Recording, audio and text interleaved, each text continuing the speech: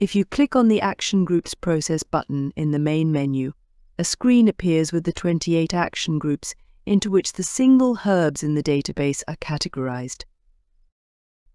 By clicking on the name of an action group, you can call up a pop-up with a detailed description of the respective action group and its associated herbs. As with the other pop-ups with detailed information, you can enter and save your personal notes here.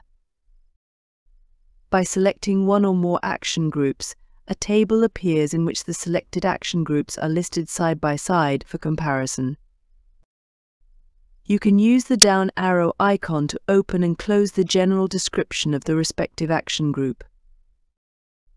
The single herbs of the action are listed below. Here you can select herbs as usual by clicking on the circle icon. The herbs selected in this way are listed further down in the herb characteristics table.